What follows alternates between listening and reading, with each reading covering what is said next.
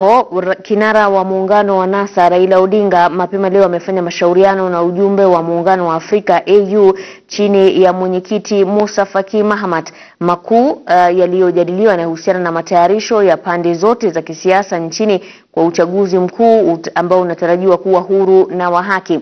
Aidha, Raila alitoa hakikisho la kuwarai wafuasi wake kudumisha amani. Nacho kikosi chake Musa Faki kinatarajiwa kukutana na Rais Uhuru Kenyatta hapo kesho. Ourselves as NASA have said that we will uh, ensure that our supporters do not engage in any activities which could undermine peace in our country in the future. So uh, we thank the AU for the concerns and the interest that they are taking in our elections and elections all over the continent. Uh, we think that this is, is how it should be.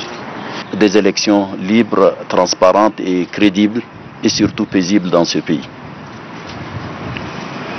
This is the first part of our program that we've met with uh, His Excellency.